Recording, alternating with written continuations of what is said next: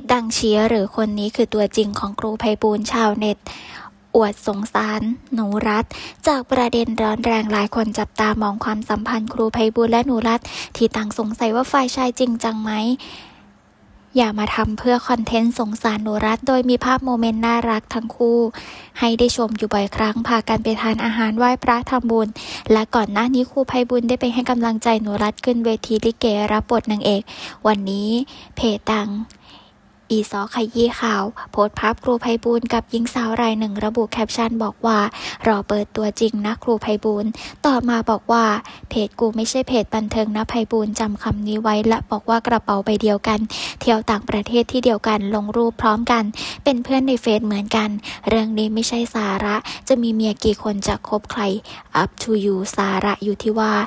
ในเมื่อคุณเป็นบุคคลสาธารณะไม่ควรโกหกใครหรือทำคอนเทนต์เพื่อหวังกระแสโดยการหลอกลวง